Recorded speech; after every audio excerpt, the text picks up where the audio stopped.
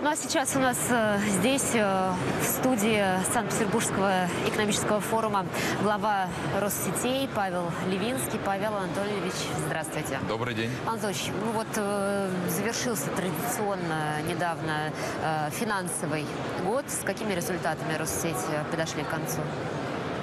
Результаты неплохие.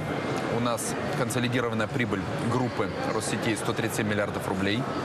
Могу сказать, что по рентабель... рентабельность по EBITDA у нас составляет 33, более 33%. Рентабельность по э, чистой прибыли, если смотреть, 14,5%. Считаем, что для нас это удовлетворительные показатели А по отношению работы. к предыдущему году? По отношению к предыдущему году 137 против 100 миллиардов. Это, безусловно, Рост. рост. Также хочется отметить, что а, закупки у малого и среднего предпринимательства, это отдельная такая наша гордость, увеличились э, при нормативе в 15%. Более половины осуществляются закупки у субъектов малого и среднего предпринимательства. Порядка 200, 234 миллиарда рублей из более чем 500 а, миллиардной программы закупок именно у субъектов Что малого и среднего предпринимательства. Все необходимое для того, чтобы у нас был свет, работали воздушные, кабельные линии, трансформаторные подстанции, безусловно. Ну, естественно, э, вопрос, который волнует всех инвесторов. Э, Вы, когда вступили в должность, сразу же заявили э, про дивидендную политику Россетей. Что с дивидендами в итоге будет? С дивидендами все в порядке. Хочу отметить, что Они будут? они, они были, есть и будут. Без них никуда.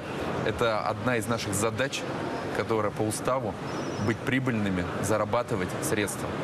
Наш приоритет, помимо надежности и бесперебойности электроснабжения, конечно же, зарабатывать прибыль, и часть ее должна идти на выплату акционерам. Какая? А, По первому кварталу мы можем сказать, что у нас прибыль есть и есть возможность заплатить дивиденды. Могу сказать, что это будет больше, чем в прошлом году. Насколько? Если прошлом году мы заплатили 2 миллиарда, ну, будет больше. Подробности скажем позднее. На миллиард? На два? Пр- Практически. Практически угадал. А, Инвест-программа на следующий год какая у вас? Инвестпрограмма 262 миллиарда рублей консолидированная. Предпринимаем меры по тому, чтобы она была оптимальна, без уменьшения физических объемов, а, сокращаем удельные капексы для того, чтобы вложения были Ну, вы максимально говорили про то, что эффективными. оптимизировать. Да, вот могу сравнить 17 год к 16 при том, что оптимизировали программу на 22,5 миллиарда рублей. А вот общим накопленным итогом с 12 по 17 почти под 100 миллиардов экономия. При том, что вот за год на 14% у нас увеличилось количество проложенных воздушных линий. Объем основных фондов введенных не уменьшился. Оптимизация произошла. Всю оптимизацию направляем на присоединение льготных групп потребителей. 262 миллиарда, утвержденные на восе- с 18 по 20 год, порядка 748 миллиардов рублей.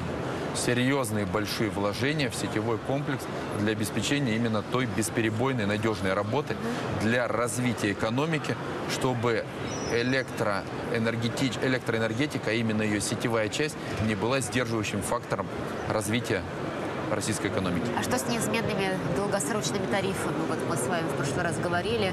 э, Это была, ну, я думаю, и остается э, одна из основных, насколько я понимаю, задач э, ваших на вашем посту. Долгосрочные тарифы мы надеемся, мы планируем, что до конца года будут приняты. Сейчас этот вопрос, От чего это зависит? это зависит от того, чтобы а, был принят закон, внесена инициатива Государственную. Думу со стороны правительства по долгосрочным тарифным соглашениям. Но хочу отметить, что это должен быть а, пакетно ряд законодательных нормативных мер, который в отношении сетевого комплекса уже назрел и должен быть принят. Это урегулирование вопросов, связанных с льготным присоединением, урегулирование вопроса по оплате э, электроэнергии по заявленной мощности, для того, чтобы увеличить объем использования той мощности, которая построена, введена и работает в сетевом комплексе. Это вопрос, связанный с эталонным регулированием. Для чего нам нужны долгосрочные тарифы? Это в первую очередь, еще раз напомню и буду это повторять, для того, чтобы гарантировать Гарантия. те инвестиции, которые осуществляются источником финансирования в тарифе. Понятные, прозрачные планы развития компании на перспективу 10 лет. Тогда мы можем стабильно развиваться, реализовывать длинные проекты. Инвесторы могут спокойно вкладывать денежные средства. Но эта инициатива работает только если мы пакетно все эти вопросы, включая вопрос, хочу также отметить, связанный с тем, чтобы потребители не уходили на сети а, ЕНС, Единой национальной энергетической сети, оставались в региональном непосредственно НВВ, необходимой валовой выручки, чтобы она не уменьшалась, чтобы не было избыточного давления на тариф, чтобы все те ремонтные инвестиционные программы реализовывались вовремя и в срок. Вот если мы все эти законодательные нормативные инициативы реализуем пакетно и вместе, мы настраиваем работу сетевого комплекса на долгосрочную стабильную работу, позволяющую нам реализовать как планы по цифровизации сетей, так и планы по восстановлению, возобновлению, недопущению старения работы основного энергетического А первичного оборудования. Положительно. ФАС поддерживает, потому что понимает, нужно решить, а, нужно решить вопрос, чтобы с одной стороны не было избыточного давления на тариф, сверх соцэконом прогноза мы работать не можем. Мы живем в рамках него. Тариф, корректировка на инфляцию. С другой стороны, достаточность финансирования инвестиционных ремонтных программ. То, о чем я сказал. Для этого нужно вот эти вот инфраструктурные подходы немного скорректировать и устаканить. То, что я сказал. Долгосрочные тарифы, эталоны, вопросы, связанные с льготным присоединением и последней милей Ну, по ЕНС. Цифровизация вы еще э, говорили, ну это отде- отдельной темой. Как проходит сейчас цифровизация в, в Россетях? Очень вами динамично. писали интервью просто недавно, и Да. вы говорили, что это тоже один из пунктов ва- вашего стратегического плана. очень динамично. И президент и в своем послании это отметил. И в майских указах это нашло отражение. В части необходимости а, перехода систем электроэнергетики отдельно сетевой комплекс отмечен на цифровой режим работы. В текущий момент мы реализуем пилотные проекты. Где-то они находятся уже в завершенной стадии, как два района электросетей в Калининградской области, мы об этом уже говорили. Это пилотные проекты и в Новгородской области, в Алдайске РЭС. Это пилотные проекты в Красноярском крае. В каждой ДЗО, дочернем зависимом обществе холдинга Россетей, реализуются пилотные решения, чтобы отработать практики на конкретных сетях, конкретной географической привязки, топологии, конкретных нагрузок и конкретных проблем именно текущего данного А региона. вы сети переводите на цифру э, благодаря российским производителям?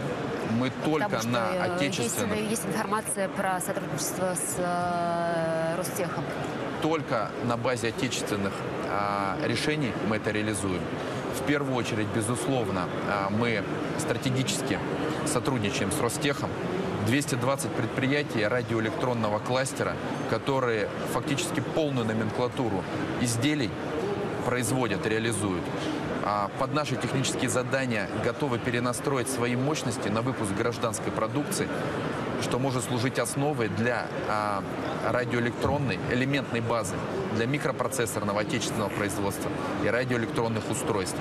Плюс даже те решения, которые мы с нашими зарубежными партнерами отрабатываем, необходимые условия – это локализация продукта здесь, в России. Это открытый код, чтобы мы понимали именно программно на уровне машинных кодов, что это за продукты, алгоритмы принятия решений, локализация на территории Российской Федерации с целью, если эти практики положительны, тиражирования опыт по всей стране. С Россетями у вас уже контракт э, заключен на поставку вам оборудования. С Ростехом. С имеете в рамках действующего законодательства после прохождения процедур закупочных, безусловно, мы и они успешно конкурируют и выигрывают там, где предлагают сумму наилучшие условия. А? На какую сумму контракт? На сегодняшний момент, по-моему, порядка 5-7 миллиардов контрактация с Ростехом уже осуществлена на базе открытых конкурсных процедур. Последний вопрос, поскольку мы находимся на Санкт-Петербургском э, экономическом форуме. Какие-то э, здесь соглашения, договоренности э, собираетесь достигать, Конечно, подписывать? программа насыщенная, программа плотная. Мы э, подписываем соглашение и с научной школой, с МГИМО, э, с Таркуновым Анатолием Васильевичем. Не далее, как буквально А час назад подписали соглашение о сотрудничестве.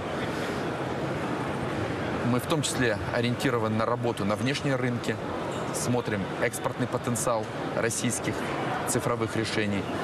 И с таким вузом, как МГИМО, в сотрудничестве мы сможем сделать многое в этом направлении. Также это с зарубежными партнерами, сотрудничество со Schneider Electric, с Electricity de France мы планируем подписание соглашения э, и совместную общую встречу. Соглашение с Ярославской областью, есть с международными партнерами тоже. С международными партнерами, да, в лице знаком. Шнайдер, конечно, ведь форум же международный. И, безусловно, мы не можем не смотреть на лучшие международные практики и применение их именно здесь, в России. И соглашение с Ростехом, то, о чем вы сказали, конечно же, тоже сегодня в Оно будет, 15.30 под- будет только подписано. да, в 15.30 базовое соглашение на стенде Россетей. Все присутствующие мы только рады будем видеть. Ну что ж, я вам желаю удачных соглашений, больших контрактов э, здесь, э, в Санкт-Петербурге. Э, Я напомню, что мы беседовали с Павлом Левинским, главой Россетей.